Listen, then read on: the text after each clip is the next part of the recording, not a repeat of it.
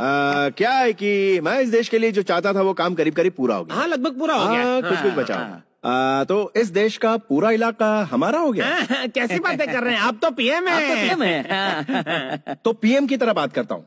इस देश को बेच डाल sell sell sell it sell it out ये क्या देख रहा हो आँखें फाड़ फाड़ के? हेलो क्या हुआ बाबू? इस देश का प्रधानमंत्री होने के नाते इस देश को बेच भी नहीं सकता क्या? सर इस देश की रखवाली के राइट्स हैं बेचने के नहीं है। आमदनी बढ़ाने के लिए बेच रहा हूँ।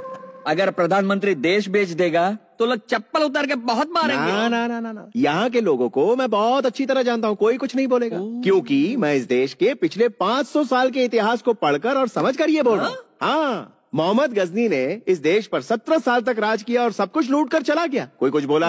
हाँ, फिर अंग्रेज़ आए बचा कुचा सब कुछ ले गए। कोई कुछ बोला? कोई नहीं बोला। उसी तरह टू जी घोटाला चारा घोटाला इन सब का बोल बाला। फिर भी कोई कुछ बोला?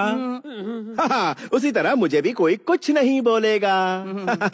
करेक्ट बात बोली सर। पर सर ये ऑपोजिशन पार्टी वाले और ये ब्यूरोक्रेट्स से ब्यूरोक्रेट्स सही पकड़े। उनकी भाषा में आउटसोर्सिंग प्राइवेटाइजेशन ग्लोबलाइजेशन अनाउंस कर दो और खरीद लो उन्हें। हाँ। वो चुप रहेंगे कोई मुँह नहीं खोलेगा। कर उसके बाद बड़े बड़े बिजनेसमैन को बुलाओ उनको ऑप्शन कर दो मतलब नीलामी वो चाहे वो खरीद ले। हमारे गरीब लोगों को क्या पता? वो बेचारे कुछ नहीं बोलते हैं बस चुप रहते हैं। बोलो भारत माता की। हाँ, सारे बिक चुके हैं। जय चलता हूँ। ब्रेकिंग न्यूज़ देश को बेचने के लिए सरकार तैयार। नई सरकार का ये फैसला है कि देश के हर राज्य के हर चीज़ की नीलामी करेगी ये सरकार। रोड रेलवे हॉस्पिटल से लेके तीर्थ स्थलों तक। देश को सब्ज़ी मंडी समझ रखा है। मैं प्रधानमंत्री के इस फैसले के खिलाफ जाऊँगा।